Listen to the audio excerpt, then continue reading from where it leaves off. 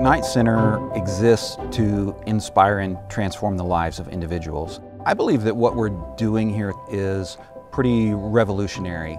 Season ticket holders are diminishing in other markets. We have exceeded the previous year's subscription sales for about three years now. The economic impact this past year was around $5.4 million. We're bringing in fantastic artists year-round, and there will always be an opportunity for people to see what they enjoy. We did a better job of letting our ticket buyers know that if they can't use a ticket, they can give it back to us and we can put it in the hands of students. We doubled the number of students who attended concerts last season for free. These were all donated tickets. I was able to meet Yo-Yo Ma, the world famous cellist. It was so much fun and he was kind and genuine and he was really interested in getting to know about us. You're starstruck for a minute and then you're like, you're, you're a normal person and getting to have a conversation with them is really, really cool. And it's essential that we continue to move forward. We can impact more students and we can bring more marquee level artists to the center each year. We employ between 60 and 80 students a year.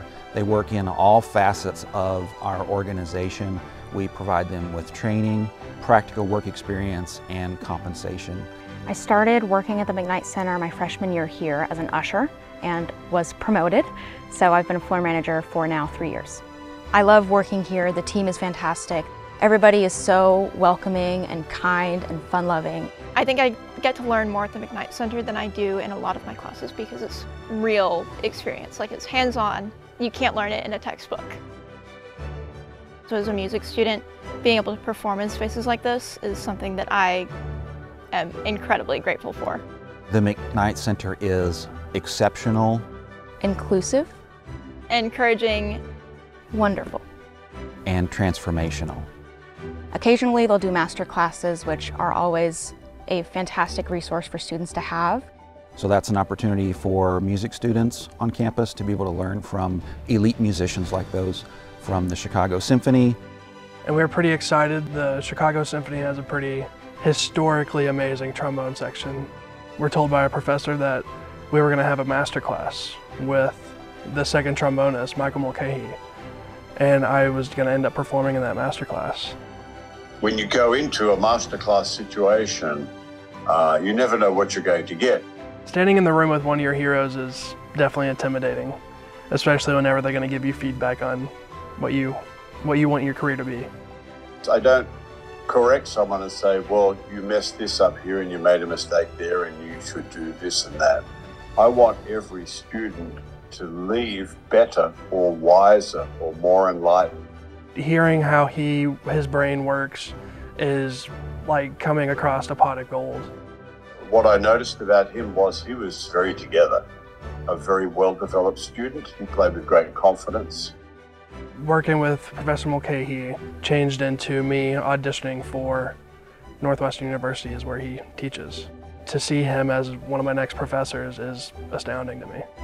We're living out our mission to inspire and transform the lives of individuals and I think that our dream is alive and well. I like to go forward and teach high school choir. The McKnight Center has helped me gain all of these skills that I will absolutely employ whenever I go forward to teach.